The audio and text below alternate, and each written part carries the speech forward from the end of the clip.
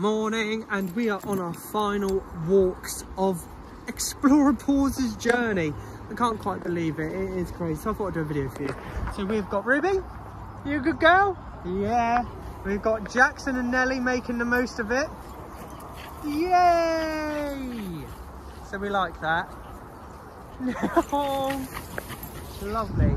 We got Poppy, who is out on a load of walks today, so plenty of shade and plenty of water around the sun now, just because it's not too bad.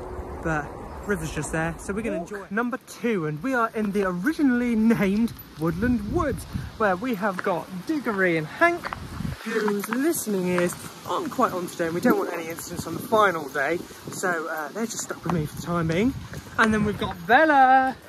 Bellies, you good girl. Hello, good girl.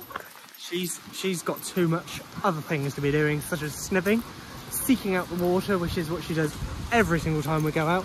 And you know what, just generally being a good girl. So we are making the most of the shade right now because the sun has got warm, but it's pretty nice one. And now on to the last walk of ever.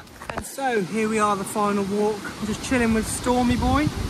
Storm was my first ever dog I took on, so it seems quite fitting he's on my last ever walk been quite a long time, within five and a half years, we got Skippy Doo Doo Hello mate, you are also a lap dog too, aren't you?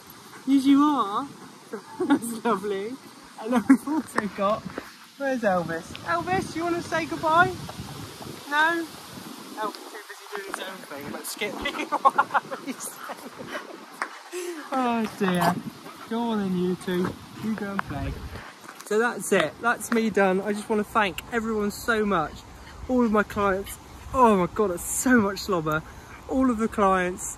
I've just been so lucky to work with the best dogs. And uh, yeah, it's weird to go. But I don't really know what else to say. Thank you so much. You're all just absolute legends. And uh, I love these dogs to bits. And I'm looking forward to what the future holds. So yeah, thank you very much. See you later. Bye.